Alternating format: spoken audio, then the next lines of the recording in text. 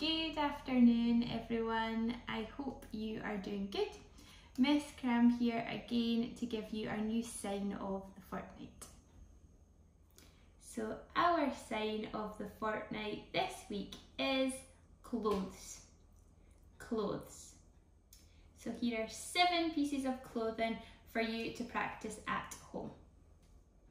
So, the first piece of clothing is t shirt. T shirt. The next piece of clothing is vest.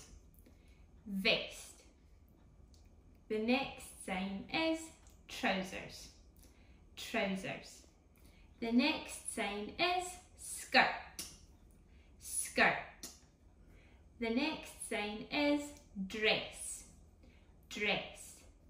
The next sign is coat. Coat. The next sign is socks. Socks. Thank you for watching this week's sign of the fortnight. I will be back in two weeks with a different sign for you. So make sure you give these signs a good practice at home.